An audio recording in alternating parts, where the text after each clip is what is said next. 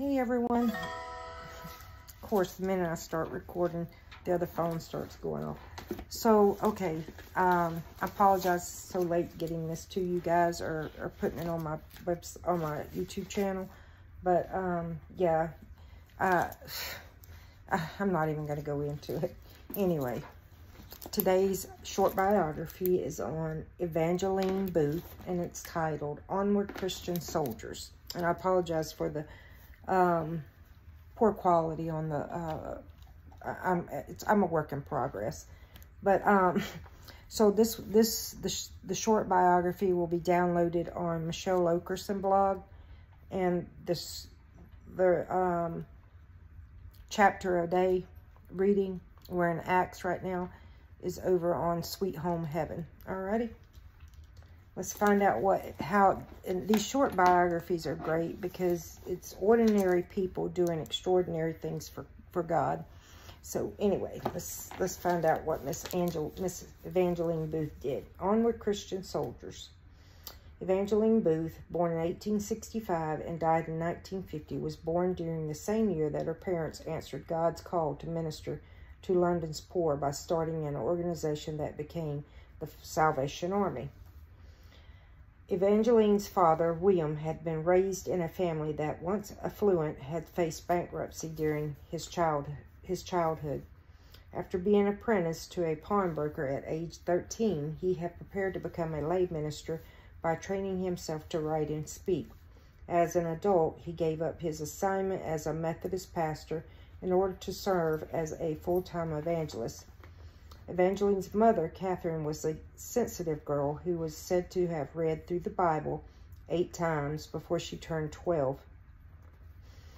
William and Catherine tirelessly engaged in ministry even as they courted, married, and raised eight children to share their passion for evangelism. The recipients of their compassion included prostitutes, alcoholics, and the destitute. William Booth conceived his growing ministry as a Christian army, as a Christian army battling the powers of evil for the, for the salvation of souls. He took the title general and assigned other workers various ranks as officers. The group donned military-style uniforms and created music that set Christian words to pub tunes. Whether through public preaching, helping the needy, or sharing the gospel through music, Salvation Army volunteers aim to lead aim to lead their world to faith in Christ. Evangeline Booth was the seventh child in this deeply spiritual family. From an early age, she sang or played instruments while her father preached. At age 15, she was allowed to put on the Salvation Army uniform and began preaching herself and began preaching herself. She rose quickly through the organizational hierarchy. In her twi 20s, she became a field commissioner of England headed the Army's International Training College, and commanded the London branch. Booth was barely 30 years old when she was appointed territorial commander of the Salvation Army in Canada. In 1904, she became head of American organization, and in 1934, she was elected the Army's first female general and international commander-in-chief. Booth led fearlessly when her brother Ballington tried to create a breakaway American group in 1896. Her father sent her to the United States to intervene.